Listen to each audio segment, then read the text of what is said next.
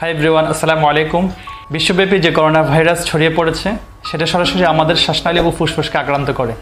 তাই সার্বিক স্বাস্থ্য সুরক্ষার পাশাপাশি আমাদের ফুসফুসের যত্ন নিতে হবে। ফুসফুসের নিয়মিত ব্যায়াম করতে হবে, কারণ এতে শ্বাসযন্ত্রের পেশিগুলো শক্তিশালী হয়। ফুসফুস সহ আমাদের শরীরের অক্সিজেন পরিমাণ বৃদ্ধি করে। আমি অনেক বেশি অবাক হই যে, যখন কোভিড আইসিইউতে কোভিড আক্রান্ত রোগীদেরকে রেসপিরেটরি ফিজিওথেরাপি দেওয়ার সময় ব্রিথিং এক্সারসাইজ বা ফুসফুসের ব্যায়ামগুলি করাই।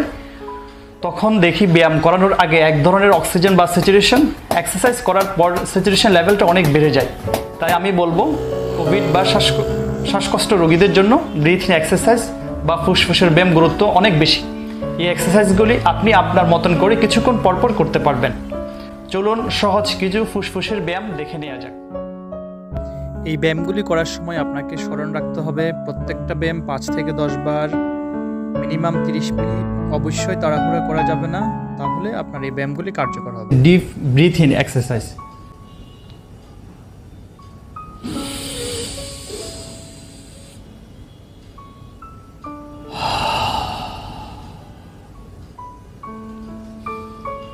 শক্তি দিয়ে শ্বাস নিতে হবে এবং শক্তি দিয়ে শ্বাসটা ছেড়ে দিতে হবে। এটাই হচ্ছে deep breath exercise purse lip breath exercise just প্রথম আমরা যে এক্সারসাইজটা করেছি, অনেক শক্তি দিয়ে শ্বাসটা নিয়েছি। সেম ওই শ্বাসটা আমরা যখন মুখ দিয়ে ছাড়ছি, তখন আমরা মুখটাকে বড় করে ছাড়ছি। এখন আমরা যেভাবে ছাড়বো, সেটা হচ্ছে আমরা যে হুইসেল দিই, অথবা আমরা যদি যখন একটা ক্যান্ডেলকে আমরা যখন নিবাতে যাব, এভাবে একটা ফু দিই। জাস্ট ওভাবে আমরা শ্বাসটা ছাড়বো। সেটা কীভাবে?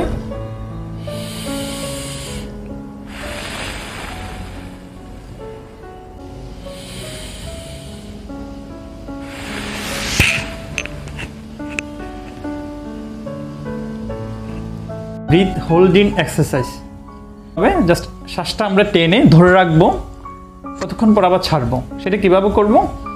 আমরা তিন সেকেন্ড শ্বাসটা টানবো, চার সেকেন্ড শ্বাসটা ধরে রাখব, এবং যখন ছাড়বো, পাঁচ সেকেন্ড শ্বাসটা ছাড়বো। লোক at May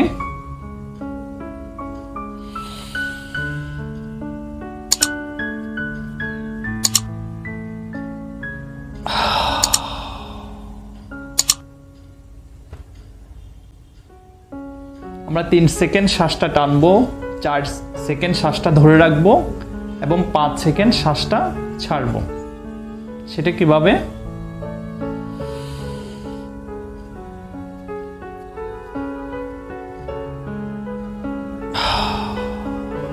diaphragmatic breath exercise just চেস্টের নিচে এখানে যে আমাদের রিপ কেজ আছে, আমাদের যে বক্ষপিঞ্জর আছে এই বক্ষপিঞ্জরের নিচে অথবা আমরা প্যাড বলতে পারি। প্যাটে ধরবো একটা হাত, আর একটা হাত থাকবে আমাদের চেস্টে।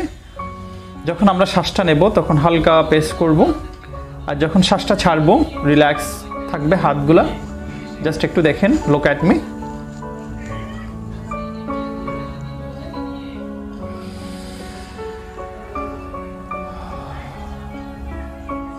এখন আমরা যে এক্সারসাইজটা করব, সেটা হচ্ছে বেলুন এক্সারসাইজ জাস্ট একটা সিম্পল একটা বেলুন, এটা একটা বার্থডের বেলুন।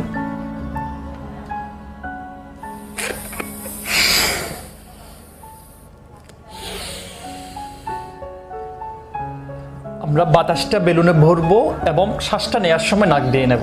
আবার দেখাচ্ছি।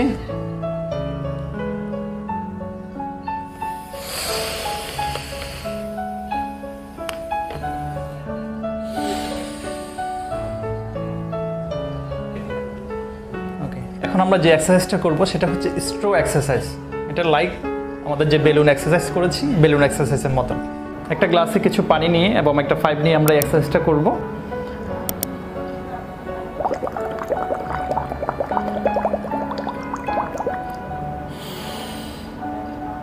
পানির মধ্যে আমরা বাতাস দেব, মুখটা বন্ধ করে আবার নাক দিয়ে আমরা টানবো। আবার দেখাচ্ছি।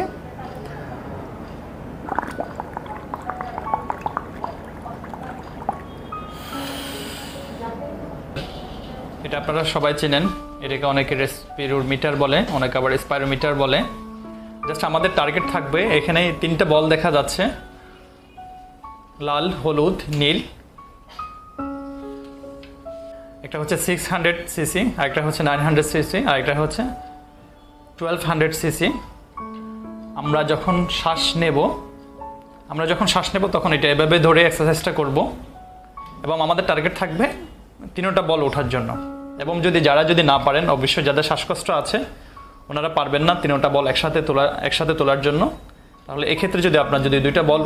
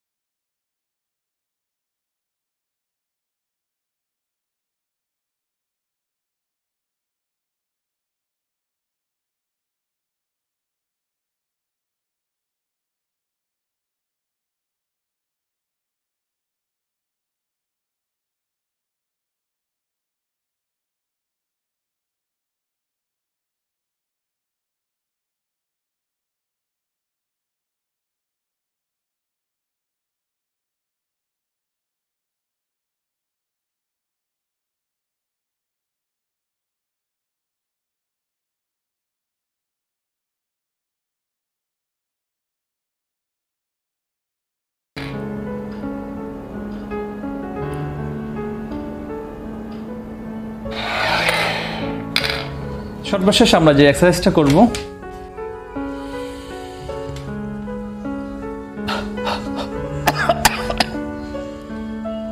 তবে অবশ্যই আপনাকে মাথায় রাখতে হবে, আমরা যারা কোভিড রোগী, এই এক্সারসাইজগুলো করব, আমরা যখন কাশবো, তখন আমাদের কাশির মাধ্যমে আমাদের ভাইরাসটা ছড়াবে। আমাদের যে ফ্যামিলি যারা ফ্যামিলি মেম্বার আছে, ওনারা আক্রান্ত হওয়ার সম্ভাবনা আছে। এক্ষেত্রে আমরা যে যেটা করব, সেটা হচ্ছে আমরা জাস্ট টিস্যু ব্যবহার করব, না হয় রুমাল ব্যবহার করব।